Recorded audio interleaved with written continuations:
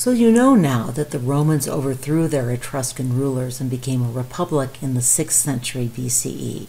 Rome then proceeded to conquer the surrounding Italian cities, and then, over the next 150 years, Rome gained control of the hugely wealthy Greek colonies on what is now the island of Sicily.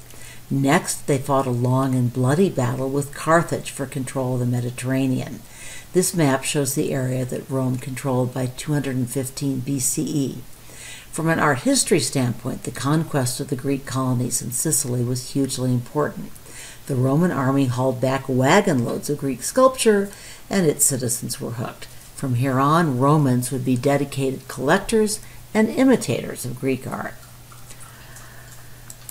Well, sorry, I've packed a lot into this slide. Imperium is a vital concept in Roman history. It's the word that became the root word of emperor and imperial, but what it really means is the power and authority that a government ruler wields. Roman art is all about power and authority. Power in Rome was in fact complicated, and it was often up for grabs. The two executive rulers of the Republic, the consuls, were selected by and at least in theory ruled by consent of the Senate, a group of powerful older men from noble families. In times of crisis, and warlike Rome faced a lot of crises, the consuls could appoint a dictator and hand all power over to him for six months. Roman patricians or nobles competed for political and military leadership, which conferred dignitas. While this is the root of our word dignity, it meant much more status, honor, popularity, importance. This was what Roman leaders sought, sometimes at the expense of republican principles. This is a good term for you to remember because much Roman art attempts to capture this quality of dignitas. The same pattern was repeated inside the Roman family. The father or paterfamilias literally held power of life and death over his children and something pretty close to this power over his wife.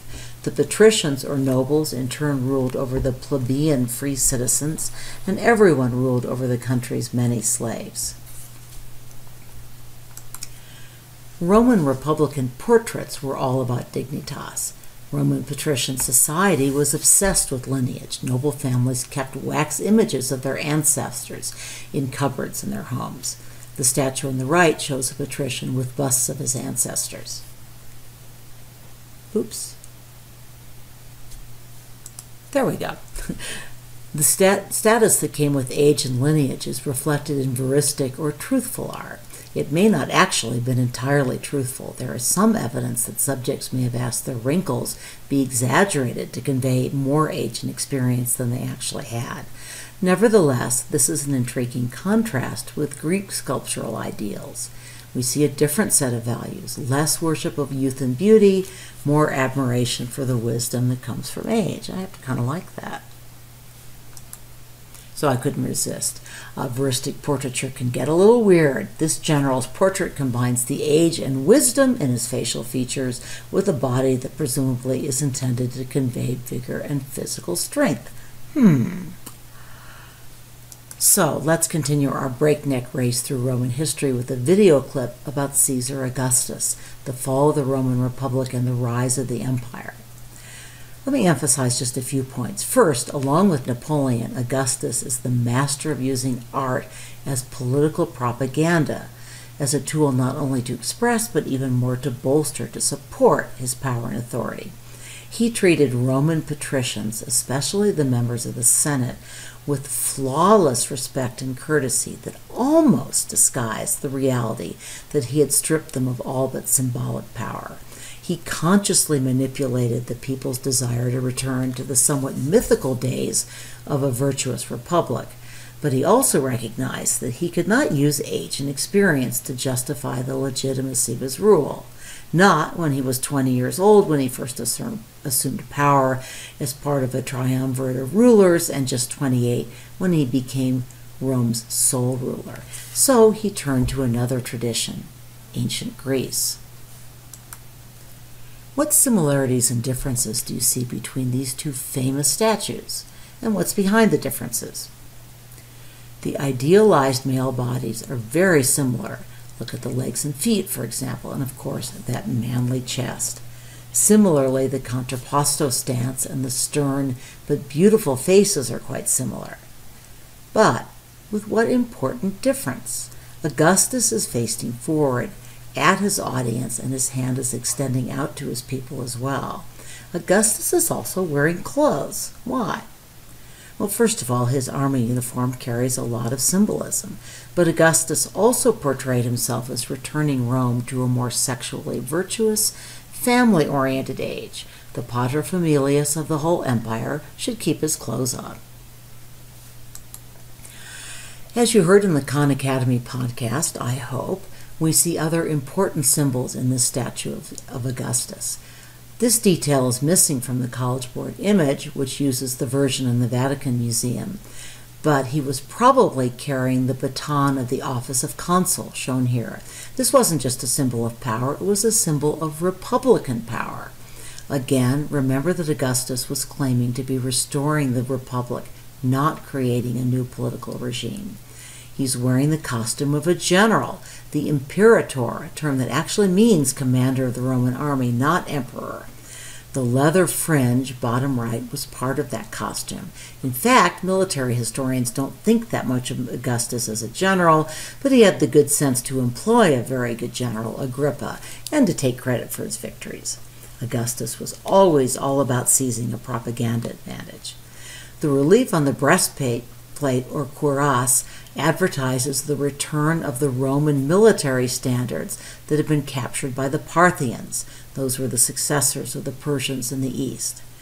And they were captured from Augustus's rival Crassus. Augustus gets them back.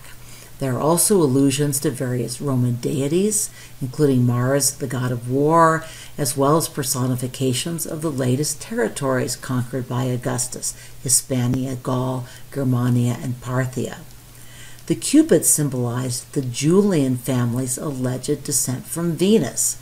Cupid was another of Venus's sons. His bare feet, a little odd with a general's uniform, don't you think, offer another subtle hint of his godlike status. Gods are depicted barefoot.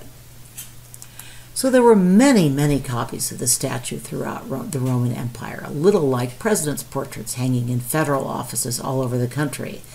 The image in the College Board set was discovered in the 1800s and it still bore traces of paint. A workshop in the Vatican Museum studied these paint fragments and produced this model of what the painted statue probably looked like.